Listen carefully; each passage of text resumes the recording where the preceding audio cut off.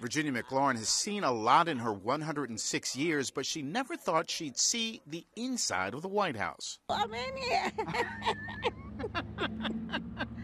I said, thanks the Lord, I'm in here. but it's what she did while she was there that captivated the leader of the free world and his wife, and now the entire nation. Nancy, come on. Seven on Your Side first met Virginia McLaurin early last year when we helped her tackle a bed bug infestation in her Northwest Washington apartment. If you want to be lifted up and be free, talk to Channel 7. she told us then how badly she wanted to meet the first African American president of the United States. She didn't know how it would happen, but she wasn't going to give up hope of shaking Mr. Obama's hand.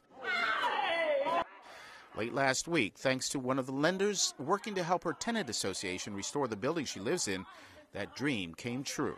I walked up to her in the meeting. I said, Thank you, President. Uh-huh. I said, I'm here. I said, This is Black History Month, and I'm here to, to represent Black history. That's exactly Yeah, that's what I'm here for. Grab hold of him, and then I got his wife, too.